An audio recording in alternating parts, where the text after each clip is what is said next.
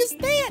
That, my dear, is art. The juxtaposition of nature and pollution, seemingly contradicting elements blending together to form something strangely beautiful. That's great, Jerry. Where am I supposed to lay our eggs?